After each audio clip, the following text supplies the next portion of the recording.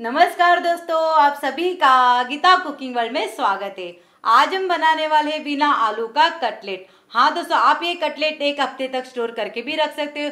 जब दिल की चाह खाने का झट से बना सकते हो। समय कम लगता है और खाने में बहुत ही स्वादिष्ट लगता है। बहुत ही नए तरीके से मैंने आपको ये रेसिपी बताई है दोस्तों।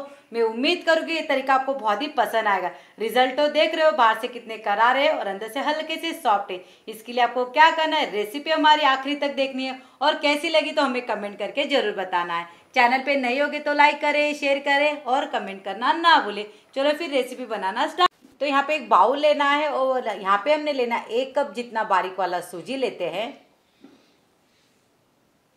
अभी उसी मेज़रमेंट से हमने एक कप बेसन का आटा लेना है। हाँ दोस्तों, बेसन का आटा थोड़ा मोटा वाला लेना है पाउडर वाला नहीं लेना इस बात का आपने ध्यान देना है।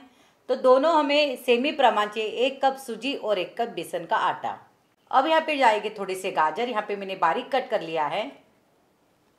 पाव चम्मच गरम मसाला, आधी चम्मच हल्दी एक चम्मच कश्मीरी मिर्ची पाउडर, ये सिर्फ़ कलर के लिए मैं यूज़ कर रही हूँ दोस्तों। अब यहाँ पे जाएगा चटपटा स्वाद आने के लिए आधा चम्मच यहाँ पे डालेंगे चाट मसाला। अब यहाँ पे डालेंगे आधी चम्मच काली मिर्च पाउडर।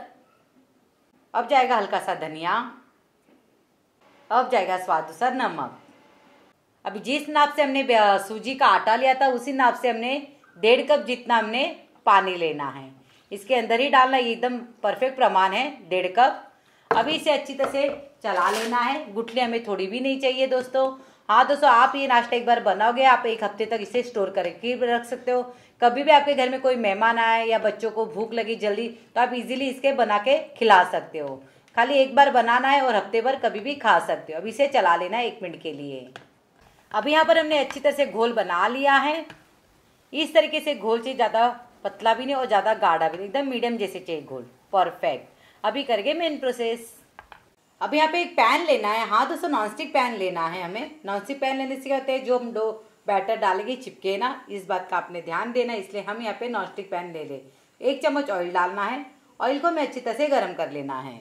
अब यहाँ पे ऑयल अच्छी तरह से गर्म हो चुका है। अब यहाँ पे डाल डालेंगे आधा चम्मच जीरा। जीरे के साथ डालेंगे दो हरी मिर्च बारीक कटी हुई। और यहाँ पे डालेंगे आधा इंच अदरक का टुकड़ा। इसे भी हमने कट कर लिया है। थोड़ा मोटा ही कट करना है अदरक। अभी इसे भी एक मिनट के लिए चला लेना है। अभी यहाँ पे एक मिनट के लिए हमने चला लिया है। अभी इस स्टेज पर हमें गैस की फ्लेम थोड़ी धीमी रख लेनी है। अभी जो घोल हमने बनाया था इसको एक बार इसे चला लेना है और इसमें डाल देना है। इस तरीके से। अभी इसे धीमे आँच पे इसे कुक करते रहना है। जब तक कि कुक करना है, जब तक कि इसका डो नहीं बन जाए। डो बन जाएगा, तभी हमें गैस बंद करना है। और इसमें गुठली थोड़ी भी होगी नहीं दोस्तों, क्योंकि यहाँ पे हमने सूजी डाली है और मोटा वाला बेसन का आटा डाला है। तो इसे अच्छी तरह से चला लेते हैं और डो बना लेते हैं। अब यहाँ पे आप देख सकते हो, यहाँ पे हमने सिर्फ़ पाँच ही मिनट लगे और एकदम परफेक्ट डो के फॉर्म में आ चुका है। और पैन भी छोड़ दिया है, यानी कि थोड़ा भी चिपक नहीं रहा है ये। आप देख सकते हो इस तरीके से। अभी स्टेज पे हमें गैस बंद कर दे तो इसे एक बॉल में निकाल लेते हैं। हाँ दोस्तों, ये बहुत ही बढ़िया सी रेसिपी यानी नाश्ता। झट से पट बनाए जाते, एक बार बनाना है और हफ़्ते तक आप कभी भी इसे खा सकते हो। अभी एक बॉल में निकाल लेते हैं। अभी आप एक बाउल में निकाल लेना है, अभी इसे थोड़ा ठंडा कर लेना है। गरम गरम आप इसे मतलब बनाओगे, कटलेट और स्टोर करोगे तो एक दो दिन में ही खराब हो जाएगा, इसलिए हमें अच्छी तरह से इसे ठंडा कर लेना है। अब यहाँ पे इसे हमने पाँच में पंखे के नीचे सुखा लिया है। अभी हमें थोड़ा ऑयल ले लेती हूँ हाथों में। डो चिपके ना। और हाथों को हमें थोड़ा चिकना कर लेना है। इस तरीके से। अभी यहाँ पे छोटे छोटे साइड के हम कटलेट बना लेंगे। आपको कौन सा शेप चाहिए आपके हिसाब से कर सकते हो। यहाँ पे हम लोग रोलर शेप बनाएँगे। अच्छी तरह से पहले मसल लेना है और चिकना सा कर लेना है। इस तरीके से। हाँ दोस्तों रेसिपी आपको ये हमारी कैसी लगती है तो हमें बताना है। एकदम परफेक्ट इस तरीके से करना है, थोड़ा हल्का सा लंबा रोल कर लेना है। तो सारे रोलर में इसे बना लेते हैं सेम टू सेम अब यहाँ पे सारे कटलेट बनकर तैयार हो चुके हैं। अभी मैं आपको एक बात बताना चाहूँगी, अभी इसे स्टोर करना है आपने। तो एक डब्बा लेना है, प्लास्टिक का एकदम टाइट वाला तो उसमें ये भर देना है और फ्रीज़र में रखना है। और जब भी आपको खाना हो तो आधे घंटे पहले निकाल लेना है, तब इसे फ्राई करना है। एकदम इजी से ये एक हफ़्ते तक अच्छी तरह से रहता है।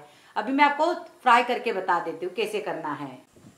अब यहाँ पर ऑयल गरम मैंने कर लिया है। हाथों से एकदम गरम ऑयल चाहिए, ठंडा ऑयल बिल्कुल भी नहीं चाहिए। गर्मा गर्म ऑयल में इसे फ्राई करना है हमें। अब एक एक कटलेट्स में डाल देते हैं। बहुत ही बढ़िया लगता है, अंदर बाहर से क्रिस्पी लगते हैं और अंदर से सॉफ्ट लगते हैं। एकदम गरम तेल चाहिए, ठंडा तेल नहीं चाहिए। रेसिपी आपको ये कैसी लगी तो हमें बताना है। इसे तुरंत टच करना नहीं, थोड़े टाइम के बाद हम इसे टच करेंगे। अभी इसे हम टच करेंगे। उलट पुलट करते जाना है और जब तक ये फ्राई करना है, जब तक ये गोल्डन ना हो जाए। और इसे बीच बीच में से चलाते भी जाना है। अब यहाँ पे हमें पाँच मिनट ही लगे दोस्तों, एक जैसा कलर आ चुका है, गोल्डन। मैं आपको लेके बता देती हूँ। एकदम बढ़िया सा, जैसे मैंने ऑयल में से निकाला, तुरंत ड्राई हो चुके, थोड़ा भी ऑयल पीता नहीं। देखा ना दोस्तों, मैंने कैसे बना दिया, बिना आलू का कटलेट रिज़ल्ट आपके सामने है। आप इसे एक हफ़्ते तक स्टोर करके भी रख सकते हो। अभी बाकी के सारे कटलेट ऐसे फ्राई कर लेते हैं। तो देखा ना दोस्तों, कैसे बना दिया हमने बिना आलू का कटलेट रिज़ल्ट आपके सामने। आप यकीन ना मानो तो वीडियो तो आपने पूरा ही हमारा देखा है, मैं आपको एक लेके बता देती हूँ। ऑयल थोड़ा भी नहीं है, देख सकते हो, आवाज़ भी देख लेना, बाहर से कितना करारा है। है ना? अभी अंदर से बहुत ही हल्के से सॉफ्ट है। तोड़ के बता देते रिज़ल्ट आपको खुद ही मालूम पड़ जाएगा। Easily to try wow yummy yummy तो आज की रेसिपी आपको हमारी ये कैसी लगी तो हमें बताना है, और चैनल पे नए होगे तो लाइक करें शेयर करें, और सब्सक्राइब करना ना भूलें।